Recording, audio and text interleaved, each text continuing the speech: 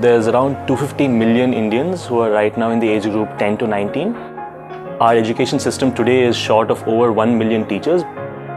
The only way we are going to be able to solve this problem is to use a blended learning approach. In the Avanti classroom, students are expected to do around an hour of pre-work before they attend class.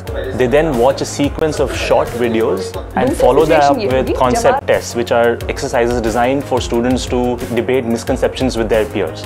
The role of the teacher in the Avanti classroom is to act as a mentor or a facilitator, and that's really what's unique about this approach. Last three years, we've served over 2,500 students. We're operating in 11 states across India and some of the most rural towns. Over 40% of our students placed in the top 10% of the university entrance exams, and over 70% of our students placed in the top 20%. That's really what our impact has been, and we've had some great success stories. The standout really was Ayush Sharma, who's right now studying at MIT on a full scholarship.